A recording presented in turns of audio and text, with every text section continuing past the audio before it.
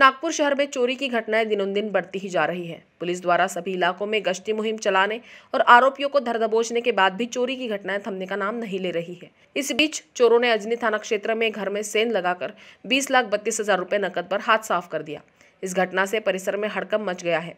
शादियों का सीज़न शुरू होने से पहले चोरी की इस बड़ी घटना ने लोगों में दहशत पैदा कर दी है। पुलिस ने बताया कि चोरी की ये घटना ओमकार नगर के सेंट्रल रेलवे कॉलोनी में हुई है। चोरों ने डॉक्टर अमित विजय घाटगे के घर में सेंध लगाई। घाटगे पेशे से डॉक्टर है, धर्मपेट के लक्ष्मी भवन में उनका अस्पताल है और कुछ समय पहले तक निजी अस्पताल में भी काम करते थे। पिछले एक महीने से घाटगे अपने परिवार के साथ रायपुर में रह रहे थे। इसी बीच अज्ञात आरोपी ने ताला तोड़कर तिजोरी से रखे बीस लाख बत्तीस हज़ार रुपए, नकद और सोने की अंगूठी सहित दो लाख बयासी हज़ार रुपए के माल पर हाथ साफ़ कर दिया। इस बीच परिवार वाले नागपुर लौटे और जब घर में प्रवेश किया तो चोरी का पता चला। आला अधिकारियों ने घटना का जायजा लिया। घाटके के घर में सीसीटीवी कैमरे लगे हुए हैं। पुलिस ने फुटेज खंगालना शुरू कर दिया है। घाटके का कहना है कि माता पिता बीमार होने के कारण उन्होंने उपचार के लिए घर में कैश ला रखी थी। पुलिस ने अज्ञात आरोपी के खिलाफ मामला दर्ज कर जाँच आरंभ की है।